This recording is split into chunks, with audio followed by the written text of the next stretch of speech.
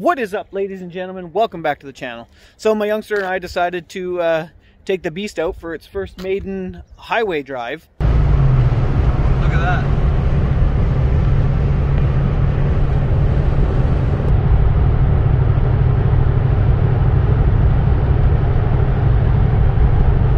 And uh, I gotta say, man, I'm really impressed for this 33 year old car, just how well it drives on the highway.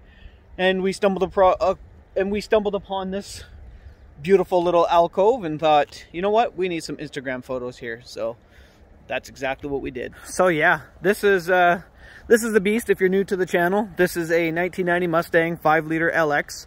We picked this up just a few short months ago with the intent of doing some pretty gnarly things to it. And uh, we are going to do that. However, for the summer here, we are just going to enjoy it just the way it is. I mean, we're going to do some small things here and there, but we just want to cruise. So we decided, let's take it for a cruise. And this is what we cruised out to. Not a bad Sunday drive, if you ask me. Not a bad Sunday drive. If you remember from my last video, I was having a little bit of drivability issues which uh, was attributed to my spark plug wires and distributor cap failing. We got that taken care of. We threw them in. Purrs like a kitten now. The only thing now is we've got a stuck valve or a bad valve. We're burning some oil. Not a lot, but uh, enough that it's irritating. So we are going to have to do some heads on this thing eventually. But um, we knew we were going to do that. So it's not that big of a deal. It just kind of sucks that it's going to fast track something I wanted to do down the road when we did the bottom end, but it is what it is. It's a 33 year old car, so we're not going to complain. All right, so we made it back from our test drive slash cruise there, and uh, everything went on went everything went without a hitch. Car drove great. Thing drives so good for a 33 year old car, but uh, I decided I wanted to dress up my engine plate. If you remember from my previous video, you probably noticed all the paint flaking off the 5.0 badge in there, and that's been driving me nuts, so I'm going to paint it. And what I did is I sprayed it red, and here, I'll show you here. So I sprayed it red, and then I just used a blade to take off all the high spots.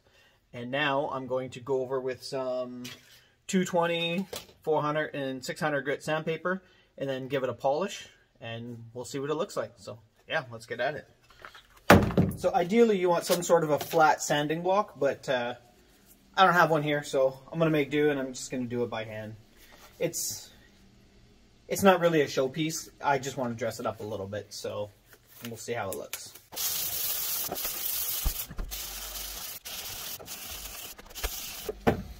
All right, there's 220. Let's clean this off and see what it looks like. Oh yeah, that's working out great. Can you see that there already? Just the 220. Let me bring it back to the light. Yeah, let's keep going with this 220 here. Still a lot of discoloration right here, so we're gonna hit it again.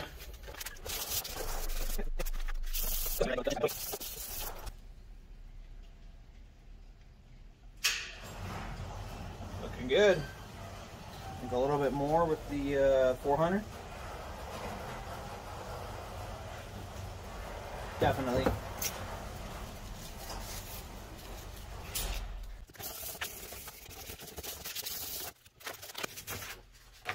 Oh shoot. Apparently I left my ratchet out yesterday. Now we're going to hit this with some uh, 600. So totally not necessary. Totally not necessary to do it in three steps. I probably could have went you know, right from 400 to 600, it would have been fine, but I wanted consistency.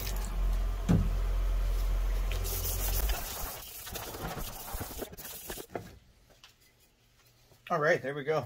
So like I was saying, yeah, totally not necessary to uh, hit it with so many stages, especially if you're not going for, for perfection, but I mean, you can see just that's you probably can't see. So I'm going to keep working on this. So I'll come back to you in a second here. All right, have a look at that. Let's get it in the light here so you can see that reflection. Turned out pretty good. I could go a little more, but to be honest, that is perfectly a-okay with me. So let's get this beast slapped back on the car. All right, we got our hardware. I gave the hardware a little bit of a polish as well, just to just so it didn't have some rusty bolts holding it in. So let's uh, slap this in. All right, moment of truth. Eh, I mean it looks cool. Kind of. Only reason I did it red is because of the uh, MSD cap. So yeah, I don't know. I don't know how I feel about it, to be honest. Uh, good thing it's an easy change. Let me know in the comments what you think about that. Uh, let me slam these uh, screws in there. Okay. You know what? Let's get all four started in there and then we'll tighten them down.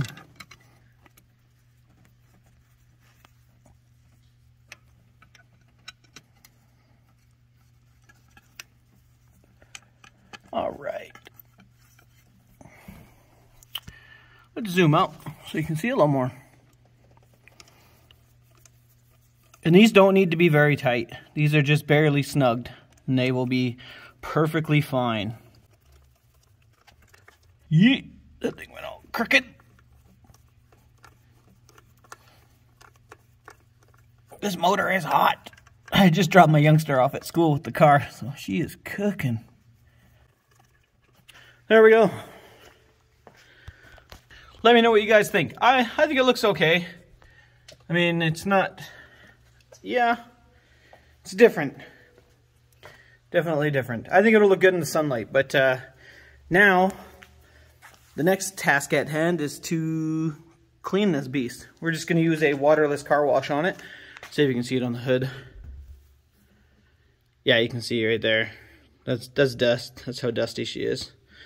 So, let's give this baby a bath. Get her ready for tonight. All right, so we got this bad boy quick detailed up. I went ahead and gave the interior a quick little wipe down. I didn't vacuum it because it's not really dirty.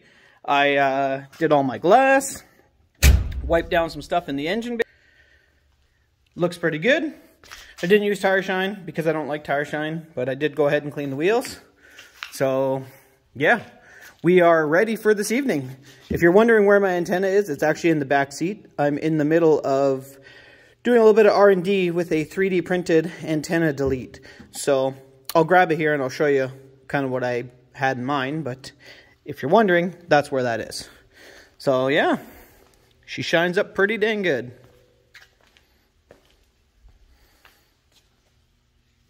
So now it's time to get on with the rest of my day and wait for our meeting spot to be posted. We keep it, uh, I don't want to say secret, but it kind of is a secret until a few hours beforehand, and then we put it out, we meet, it's good. We'll see you there. Well, that was a fail. All that work getting the car ready for a car meet, and then it gets canceled. So it's been a couple days since I posted that last little bit, and uh, in the meantime, as you probably can tell, there's no interior in the rear of my car. I have made arrangements to get that uh, big giant dent. Can you even see how bad that is? It's really hard to pick it up on camera. I think that does it there. I call it a big giant dent. It's not even that bad. The dent on the rear quarter there repaired. So we are going to drop this thing off at the body shop and they're going to do some PDR work on it and see what they can do. If they can make it decent, we're going to leave it. If not, we're going to look at painting the car. As much as I don't want to do that because I love the original paint, I want my car to look nice. So stay tuned. All right. So as you can see, we got the car back. I slimmed the interior back in because I hate leaving things undone. But um, I got to say, man, what these guys can do with the PDR is so impressive. It's not perfect, and I knew it wasn't going to be, but it definitely looks better. Let me flip you around and show you what I'm talking about here.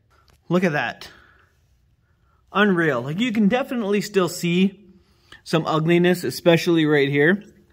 But that is a thousand times better. Let's see if we can get a better angle. It's it's it's even harder to pick up than it was before, but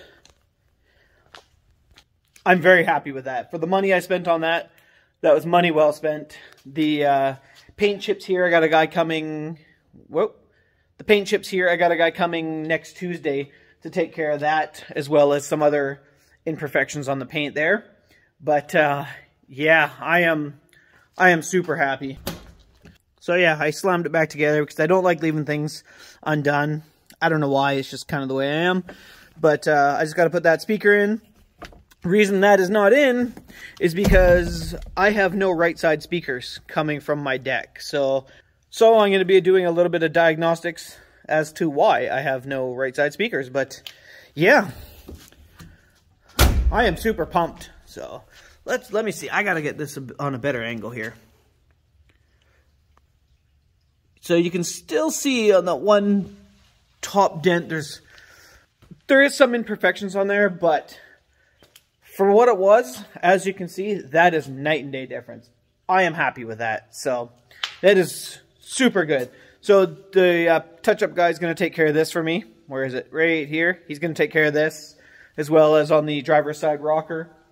Uh, those ones there. And he spotted a few other ones there that he wants to take care of. So we're going to end this video off here. If you like what you see, please like, comment, and subscribe.